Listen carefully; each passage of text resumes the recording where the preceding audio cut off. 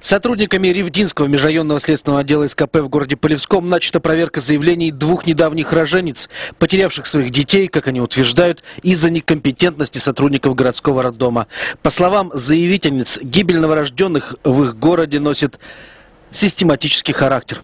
Так в одном из заявлений, поданном мужем и женой Анной и Владимиром Фадеевыми, рассказывается о трагических последствиях родов, произошедших 26 сентября в Полевском. Поскольку сама роженица имеет медицинское образование и работает по специальности, а присутствовавший на родах ее муж и вовсе является практикующим в этом же городе врачом-хирургом, рассказ об этой трагедии изобилуют специальными терминами и уверенными заявлениями. Так, по словам Анны, гибели ее новорожденного сына привел целый ряд врачебных ошибок, первый из которых стал отказ от родовспоможения в форме кесарево сечения. Плод 37-летней роженицы оказался очень крупный, 4 килограмма с диаметром головы в 36 сантиметров. Околоплодные воды у Анны ни в эти, ни в предыдущие роды никогда сами не отходили, а между их принудительным удалением и началом поток прошло долгих 7 часов.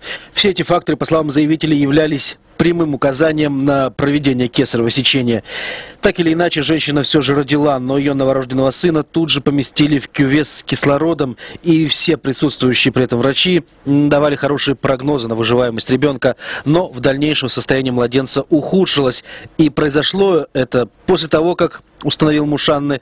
В первую же ночь после появления на свет у ребенка аварийно выключился аппарат искусственной вентиляции легких, снабжавший грудничка кислородом. Сколько времени прошло между тем, как дежурная смена заметила остановку аппарата и вызванный рабочий заменил таки кислородный баллон, никто не знает. Но даже после этого борьбу за жизнь ребенка можно было продолжать. Но врач-неонатолог сообщил родителям о начале легочного кровотечения как об обстоятельстве, исключающем всякую надежду на выздоровление младенца.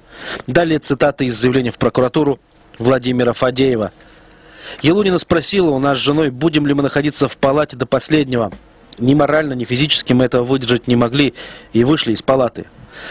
Мы вышли в 22.57. Показатели сатурации были 45%. В 23.00 Елунина выключила аппарат ИВЛ и констатировала смерть. Позже было проведено патологоанатомическое вскрытие ребенка. Из акта вскрытия нам стало известно, что легочного кровотечения у ребенка не было. Елунина нас обманула. Я считаю, что она отключила моего ребенка от системы искусственной вентиляции легких и от системы жизнеобеспечения, что и стало причиной смерти. Конец цитаты. Как утверждают сами пострадавшие, лишившиеся своего ребенка, им известно еще о полутора десятках подобных случаев в Полевском роддоме, но в прокуратуру пока подано только два заявления, по которым назначена комплексная судебно-медицинская экспертиза. Именно результаты этой проверки, ожидать которой стоит лишь через полтора-два месяца, позволят сыщикам решить вопрос с возбуждением или не возбуждением уголовных дел.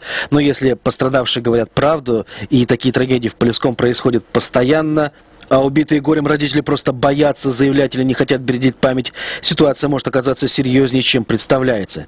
Сейчас на экране вы видите телефон Ревдинского межрайонного следственного отдела в городе Полевском. Код 34350, номер 33846. Телефон этот дается специально для тех роженец, кому есть что сказать о работе полевских акушеров и неонатологов, но которые ранее по каким-либо причинам не делали этого.